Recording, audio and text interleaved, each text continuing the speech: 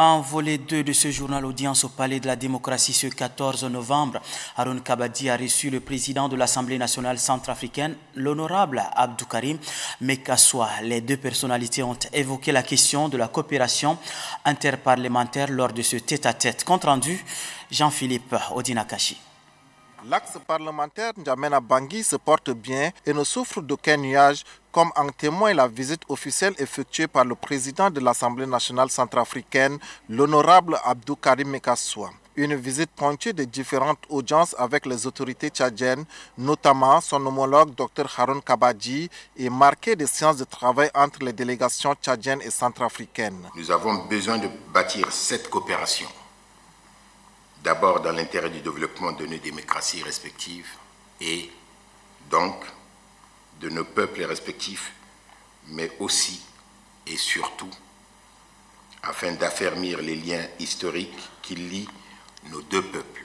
Nous avons sur ce terrain un dialogue à installer, des expériences à partager entre pays frères, entre institutions sœurs, désireuses d'assumer pleinement les missions qui sont les leurs. Au cours de cette rencontre parlementaire bipartite, plusieurs sujets ont été abordés. Le renforcement des capacités des députés, le développement des initiatives et activités dans le cadre de la coopération interparlementaire. Je pense ici avant tout à la mission de contrôle parlementaire dont nous n'avons de cesse de dire que sa fonction première est de conforter de crédibiliser et pour tout dire, de légitimer l'action gouvernementale en l'astreignant à la rigueur, à la mesure et à la transparence.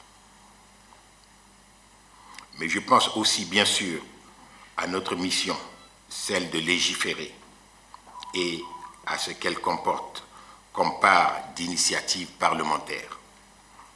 Cette part est essentielle car elle confie à la représentation nationale l'ardente obligation de contribuer à la politique nationale sur les enjeux essentiels du pays. Le président de l'Assemblée nationale de la République centrafricaine a salué le soutien remarquable que le Tchad apporte à son pays qui traverse une crise. C'est pourquoi il est important pour lui de renouer avec les valeurs de fraternité, d'amour et de solidarité afin d'œuvrer pour le bonheur des deux peuples. Au regard de l'histoire commune et de tous les liens séculiers, géographiques, socioculturels et économiques qui unissent les peuples tchadiens et centrafricains, le Tchad et la RCA doivent toujours se soutenir et s'encourager. Ces propos sont ceux du président de l'Assemblée nationale Haroun Kabadi, propos tenus à l'endroit de son note du jour. Suivez. En vous accueillant aujourd'hui, nous reparons une certaine anomalie historique, car c'est la toute première fois qu'un représentant du peuple frère de Centrafrique de votre rang rend visite à la représentation nationale du Tchad. Nos rencontres au niveau parlementaire auraient dû être plus régulières, sinon systématiques. Mais nous devons reconnaître que cette anomalie s'explique par les vicissitudes politico-militaires que le Tchad a connues hier et que la Centrafrique vit dramatiquement aujourd'hui. Le Tchad n'a pas de leçon à donner, certes, mais il a une expérience douloureuse à partager dans la recherche de la paix post-conflit et l'impératif de la réconciliation fraternelle nécessaire à la renaissance nationale de notre pays.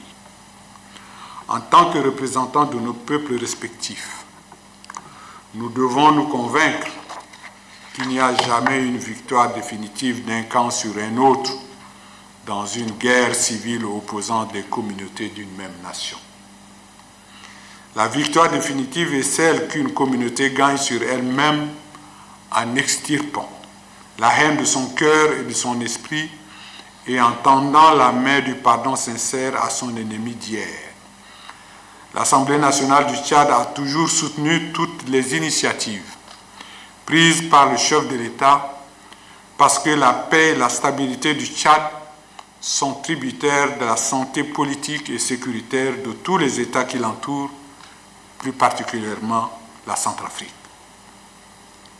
Le président Idriss Déby Itno a réitéré lors du dernier sommet extraordinaire de la CEMAC en Djamena son attachement au retour de la paix en Centrafrique.